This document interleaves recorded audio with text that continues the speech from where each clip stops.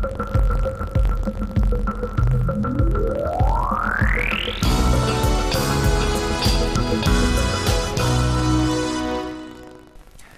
dnešních zajímavostech se podíváme za panem Stanislavem Havrdou, který se věnuje už více než 30 let akvaristice. Požádali jsme ho o několik rad pro začátečníky. Pane Havrdo, když si chce někdo pořídit akvárium, co má udělat na začátku? Co všechno k tomu bude potřebovat a jak to akvárium? No, tak samozřejmě v první řadě si musí to akvárium nejdřív pořídit. To znamená, buď co nechá udělat na zakázku, nebo nějakým způsobem koupí třeba už hotový akvárium. Důležité je, aby bylo co největší, respektive podle možností. Samozřejmě čím větší akvárium, tím je to lepší, líp se udržuje rovnováha, ryby se cítí líp, je s tím méně práce, což je pro začátečníka dost důležitý. Pak teda záleží volba dna, to zase podle toho, jaké ryby bude chtít, ale většinou je lepší kamenitý dno, hodně kytek, zase líp se udržuje rovnováha. Samozřejmě filtry, vzduchování, to všechno je důležité. A které druhy rybiček?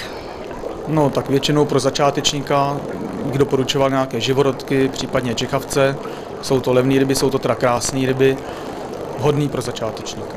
Naučí se i množit, je to bezproblémová ryba většinou. Jaká musí být teplota vody v akváriu? Teplota vody je samozřejmě taky důležitá. Zase záleží, jaké rybičky pěstujeme. Když to budou rybičky, které ve své domovině nepotřebují vysokou teplotu, tak jim takovou teplotu děláme. Pokud jsou to ryby náročnější, ryby tomu čechavci nebo jiné ryby, tak zase ta teplota musí být vyšší. Všechno záleží na druhu těch rybiček. Je od těch 23 do těch 25 stupňů, tam se de facto vejdou skoro všechny ryby, běžnější, obyčejnější ryby. A jak často se musí ta voda měnit? Podle potřeby, zase když budeme pěstovat ryby, které mají poměrně velkou látkovou výměnu, to znamená zase živorodky a podobný, tak samozřejmě častěji. Pokud jsou to ryby, které nepotřebují, tak méně, ale zase záleží na tom, jak je velká nádrž, jaká tam je rovnováha, kolik je tam rostlin a jiné věci. A to znamená, za jak často teda, ty nenáročný? Některým rybám měním dvakrát týdně polovinu vody, některým rybám jednou za tři neděl třetinu vody, zase záleží na druhu rybiček a nebo tomu na množství ryb v nádrži. Ještě jsme nemluvili o krmení, takže čím krmit rybičky? Dneska se dá i koupit eh, krmiva vločková, různá, kvalitní, takže není nutný po každé chodit k vodě někam na krmení. Samozřejmě živá potrava je ideální, ale po každý to nejde. Za prvý se někdy není to v té přírodě, někdy prostě není čas. Takže krmit vlastně tím, co se koupí v krámu. Vy se věnujete akvaristice už několik let. Pochlubit s nějakým zácným druhem rybiček? No tak nějaké pro mě vzácné druhy tady mám.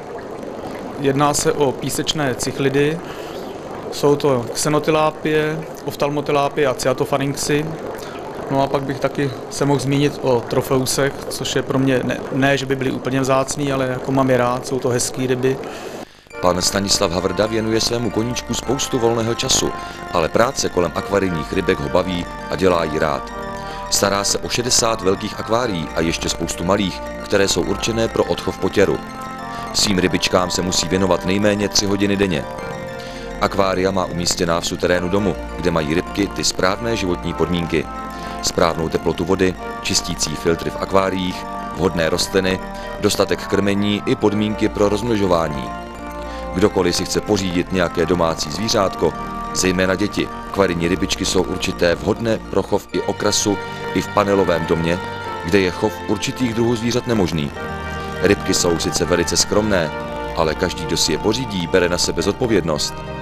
Vyžadují tak, jako každý živý tvor, určité množství péče, která se vyplatí. Každý chovatel se pak může pišnit zdravými a pěkně zbarvenými rybak, jako pan Havrda.